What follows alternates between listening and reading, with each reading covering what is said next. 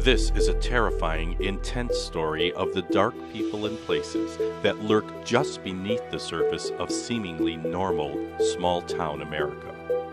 Tad McGreevy dreams about evil in horrifyingly vivid detail, but doesn't know if the evil acts he witnesses in his nightmares are happening now, are in the past, or are going to occur in the future.